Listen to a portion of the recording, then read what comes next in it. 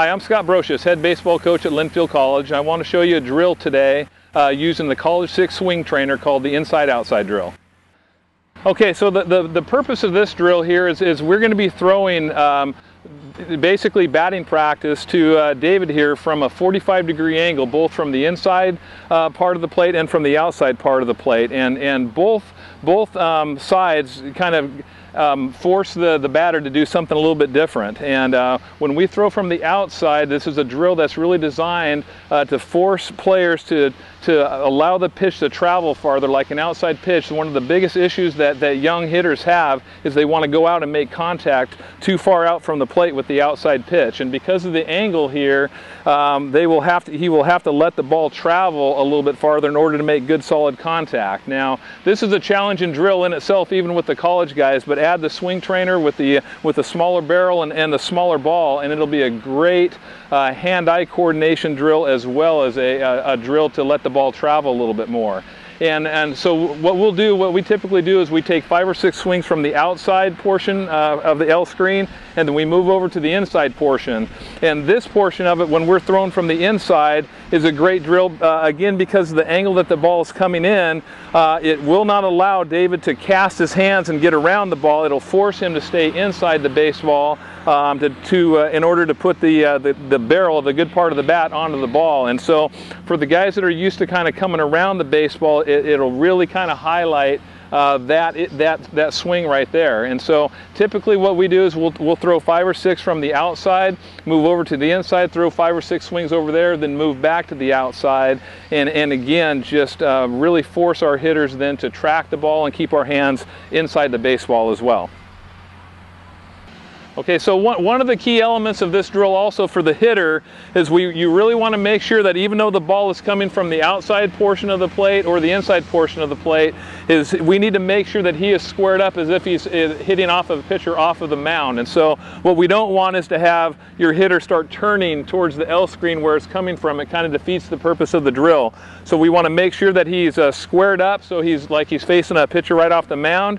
And then as, as a pitcher here, then our goal really is just to throw the ball over the middle of the plate. We don't really need it to be on the inside corner or the outside corner. Just the angle of the drill will provide what we're looking for. So now you just want to try to throw it right over the middle of the plate. And then, uh, like I said, then, then let him kind of force, force him to let the ball travel to him, okay? All right, we'll give it a go. Wait. That's it. So hopefully uh, as we get a pitch or something like that, for example on this, we're really trying to hit it back at my screen. So if you get something inside, you probably want to take that pitch and really work on using the outer third of the plate. Ah.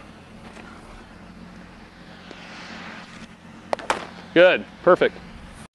So the inside portion of this drill now, the challenge here for the hitter is to make sure that he's keeping his hands inside the baseball and not getting around the ball and, and kind of casting and hooking it. So even though this is coming inside, his goal is going to keep his hands inside and try to hit it right back at this screen as well.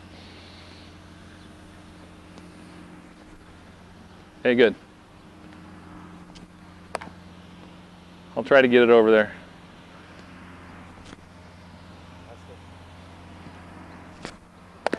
Okay.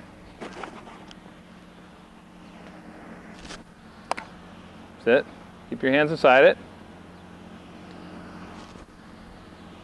That's the one. Yep, it's, it looks way inside. Good. Okay. Okay, so show me that practice swing again, Dave, what you were doing. So yeah, the whole idea is to really make sure that we're leading with our hands inside. It's, it feels awkward because you see a ball kind of coming at you from this angle right here but to be able to swing and kind of over exaggerate getting your hands inside that inside pitch. Good, a lot better.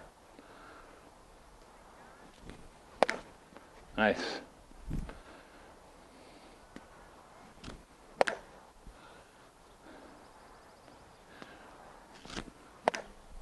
Last one.